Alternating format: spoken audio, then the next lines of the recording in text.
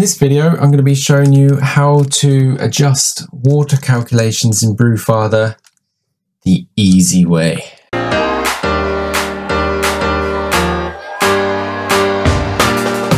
And when I say the easy way, I'm going to be doing this in layman's terms. I am a home brewer. I like brewing beer. I like drinking beer. I don't understand water chemistry. I have watched many videos. I did study it slightly for a few weeks to try and understand it. So I do have very, very basic knowledge. If you really want to learn more, if you want to uh, really get into it and you want to do this properly, I'm going to put a link below to a guy who really knows what he's talking about, Tony Yates. He has some really good videos. I've watched them all a couple of times. Really good. This is the easy method of how to adjust water additions in Brewfather. I'm now on batch 30. This is my method. If you scroll down go to the water calculator there, you see you've got your grains, you've got your water volume, and then you've got your source. You can change the button here. I'm, today I'm going to be using reverse osmosis. Now, obviously, you could use your tap water.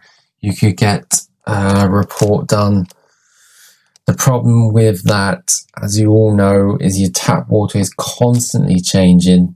You're never going to get that accurate. It's going to be near enough, but it's never going to be accurate.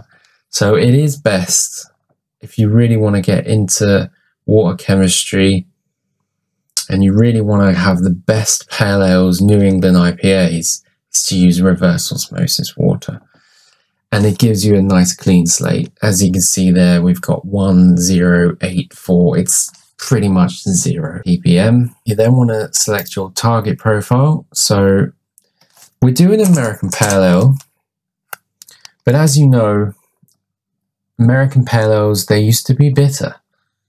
They still are bitter if you're drinking the West Coast ones. If you like me, you don't really like that bitterness anymore, I don't recommend choosing an American Pale Ale water profile. I recommend going to the Hoppy Neighbor, which increases the chloride, layman's terms, reduces bitterness. Let's go with Hoppy New England IPA. I use that for all of my pale ales, New England IPAs, obviously. And then what you want to do is you go to the style. So we're doing an American Pale Ale. And what that did is it adjusted these ranges here. I won't go into that. You can play about that with yourself. So let's just choose American Pale Ale. If you're like me and you only really like to adjust the mash, if you turn all the toggles off, hit auto, that's it. that is it. Then all you need to do is go to mash, acid. I use phosphoric acid, 85% concentration. If you see here, we've got 5.42. You could leave it. You don't need to add any uh, acid. So what I recommend here is you do the additions in your mash. 10 minutes later, you then take your pH reading and you see where you're at. If you really want to get that down to 5.2, the calculator here tells you you want to be aiming for 2.8 milliliters. That's the easy way. That's all you have to do.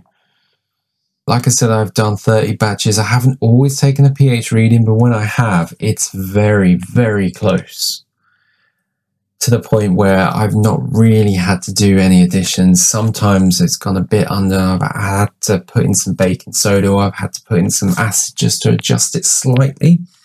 But you don't really need to, to worry about it.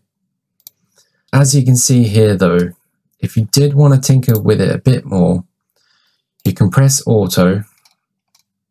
Sorry, you can toggle the sparge on. So if you really want to put some additions into your sparge water, again, you can press auto and there it tells you to put in 1.56 grams of gypsum, 4.42 grams of calcium chloride, 1.51 grams of Epsom salt, and then there you go in the sparge. Or another way of looking at this, you press auto button. If you see here, we're not always green. So the chloride here is zero to 100. You go down here and you see you're actually over here. So you could toggle this. If you really want to get that green, keep toggling. I'm going the wrong way, aren't I? Keep toggling.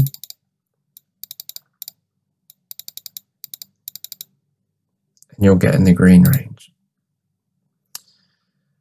Again here with the sodium, toggle that a little bit and you'll get green. And then we've got the one there. If you, if I wouldn't bother touching this to be honest, but if you really wanted to, you could put some slaked lime in there and get that green. I really wouldn't do that though. I don't recommend doing that. But you could put some baking soda in there if you want. Get that green. I don't bother though. To be completely honest, the auto is fine. It, it's so close that you don't really need to play about with this. One thing that I like to do is I press auto. You see there 2.9, I might just toggle that up round it up. These are all quite rounded, which is cool, but sometimes, you know, that might be 2.8 and that's 8.3. All I like to do is round these numbers up just so it's easier to measure. that's it. You don't really have to worry too much about this. Yes, if you want to be completely anal, you can toggle with this as much as you want. You really don't need to though, you don't need to the auto button is close enough. And that's it. So you press auto, you go to your mash, acid, you have a look up here, you want 5.2. 2.8 milliliters phosphoric acid and then we've got 3 grams of gypsum 8.5 grams of calcium chloride let's round that up 3 grams of Epsom salt, save adjustments to recipe, and there you go. It is as simple as that. Yes, you can get into more detail if you really, really want to. If you're like me though and you just want to get on with it, that's all you have to do. That is all I do anyway. I hope this video has helped people because I know that a lot of people are really scared of water chemistry this is the easy method and it works. It really does. Okay. Cheers, everyone.